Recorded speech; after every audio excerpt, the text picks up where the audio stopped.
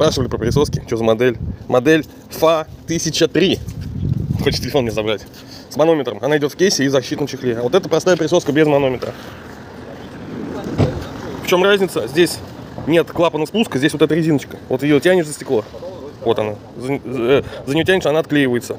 Это более надежное крепление. А здесь вот этот спускной клапан. И когда несешь стеклопакет, особенно здоровый, можешь ногой так задеть и спустить нечаянно. Что у меня вчера произошло, мне стекло попало по кроссовку. Если был фланцев, как сегодня, в сандалях, было бы очень печально.